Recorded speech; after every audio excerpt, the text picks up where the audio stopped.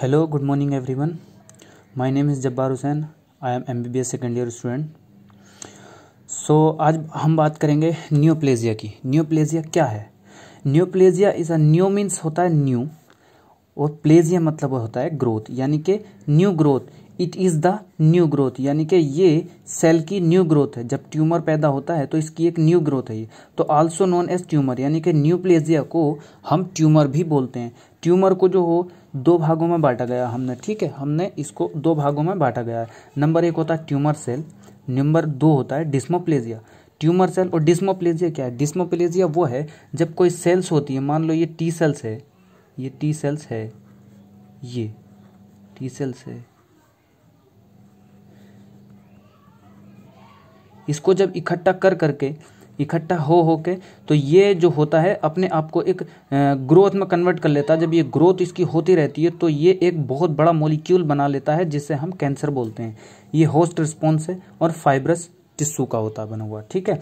तो अब हम बात करेंगे क्वेश्चन ये होता है कि एक्सेसिव डिस्मोप्लेजिया सीन इन यानी एक्सेसिव डिस्मोप्लेजिया सीन हो सीन इन कहाँ दिखाई देता है? एक्सेसिव डिस्मोप्लेजिया सीन इन ये कहाँ दिखाई देता है? ये पेनक्रियाटिक कैंसर पेनक्रियाटिक कैंसर में दिखाई देता है।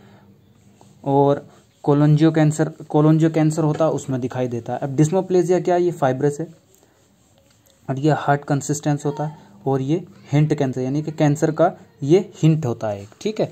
कैंसर का हिंट होता है। अब हम बात करते हैं classification of tumour classification of tumour basically हमने यहाँ पर ट्यूमर को चार भागों में बांटा गया benign tumour malignant tumour teratoma tumour and mix tumour तो बिनाइन ट्यूमर क्या है? मेलिग्नेंट ट्यूमर क्या है? टेराटोमा क्या है? और मिक्स ट्यूमर क्या है? इसका हम बात करते हैं यहाँ पर। तो नंबर वन बिनाइन ट्यूमर क्या है? बिनाइन ट्यूमर नॉन कैंसर यानी कि ये कैंसर नहीं है। ये कैंसर की शुरुआती स्टेज यानी कि अगर बिनाइन जैसे एक सेल होती है सेल की हल्की सी ग्रोथ यानी कि सेल का फ़र्स्ट से फ़र्स्ट से फ़र्स्ट स्टेज जो होता है बिनाइन होता है। इसीलिए इसको बिनाइन कहते हैं। ये जो होता है, ये कैंसर नहीं है। इसे और इसको पहचानते कैसे? ये इसको, इसका एक साइन होता है, ओमा।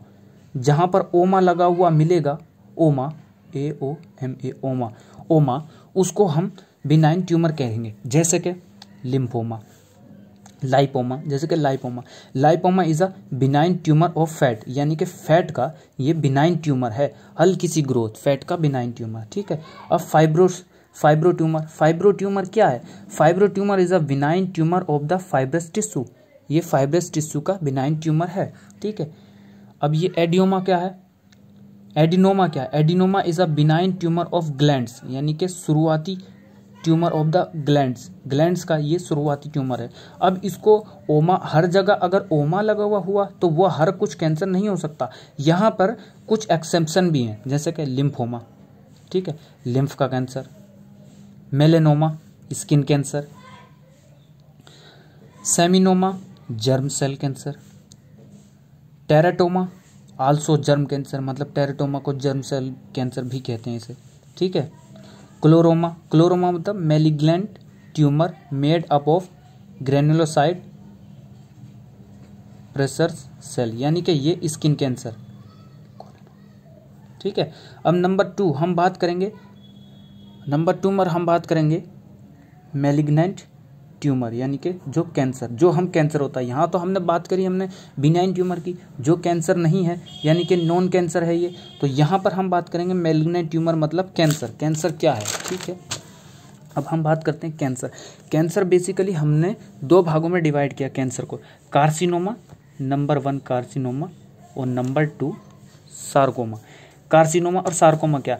कार्सिनोमा मतलब होता है एपिथीलियल ओरिजिन, यानी कि जो अंदर एपिथीलियल्स होते हैं हमारे ऑर्गन्स के अंदर, उसको एपिथीलियल ऑर्गन का, ठीक है?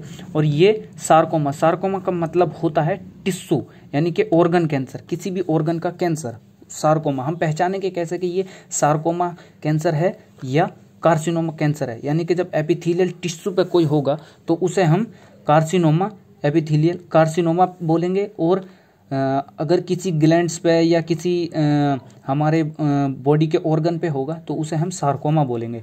अब इसका, जैसे ये है एपिथेलियल ऑर्गेनिज्म कहाँ होता? कार्सिनोमा जैसे कि स्क्वेमस सेल कार्सिनोमा हो गया ट्रांजिशनल सेल कार्सिनोमा हो गया एडिनो कार्सिनोमा हो गया, ठीक है?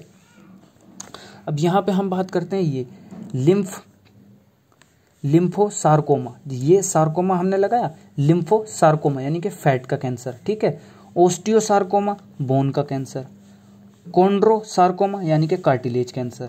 यहाँ तक कैंसर की बात हुई। अब हम बात करते हैं नंबर थ्री पे, टेराटोमा। टेराटोमा क्या है? टेराटोमा है ट्यूमर अराइज फ्रॉम वन और more than two organ layer, यानी कि एक से या एक से अधिक ऑर्गन लेयर होती है, वहाँ से आता है। उसको हम बोलेंगे ट्यूमर अराइजिंग ऑफ़, इसे उसको हम बोलेंगे टेरेटोमा, ठीक है? इट इज़ टू पार्ट यानी कि ये जो होता है, दो पार्ट का होता है मैच्योर टेरिटोमा और इमेच्योर टेरिटोमा हमने इसे दो भागों में डिवाइड किया mature teratoma mature teratoma mature teratoma and immature teratoma mature teratoma वही बिनाइन नॉन कैंसर और इमेच्योर टेरिटोमा मतलब इमेच्योर है तो मेलिग्नेंट यानी कि कैंसर ठीक है? अब हम बात करते हैं मिक्स ट्यूमर की। मिक्स ट्यूमर क्या है? नंबर फोर पर मिक्स ट्यूमर जो हमने लिखा था पीछे। तो ये है एग्ज़ाम्पल के तौर पर हम लेंगे पिलियोमार्फिक एडिनोमा मिक्स ट्यूमर जो है पिलियोमार्फिक एडिनोमा यानी कि मोस्ट कॉमन पैरोटिड कैंसर है ये। Also known as benign mix tumour यानी कि बिनाइन भी है और मेलिग्नेंट यानी कि मिक्स ट्यूमर है ये मिक्स ठीक है? Benign mix tumour it will be show epithelial mesenchymal components यानी कि एपिथीलियल के और मेजन मेजन काइमल सेल के कंपोनेंट्स पर दिखाई देता है ये, ठीक है? It will be show epithelial mesenchymal components ठीक है? नंबर टू है विल्सन्स ट्यूमर विल्सन्स ट्यूमर क्या है? Also known as triphasic tumour triphasic tumour को नाम से भी जानते हैं, विल्सन्स ट्यूमर को, ठीक है? तो ये हमारा तीन पार्ट में डिवाइड किया गया। तीन पार्ट में होता है इसका। Epithelial mesenchymal and blastoma. ये हो गया हमारा। आगे हम बात करेंगे फीचर ऑफ़ न्यूप्लेजिया। न्यूप्लेजिया के फीचर के बारे में हम अगली वीडियो में इंशाल्लाह बात करेंगे। तो thank you for watching video को अच्छे लगे तो लाइक शेयर कीजिएगा। Thank you